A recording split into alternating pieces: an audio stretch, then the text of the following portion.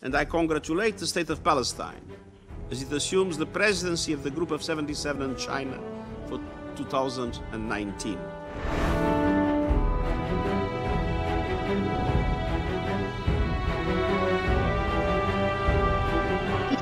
هنا فإن فلسطين يجب أن لا تكون استثناء نحن أيضا تحت الاحتلال الاستعمار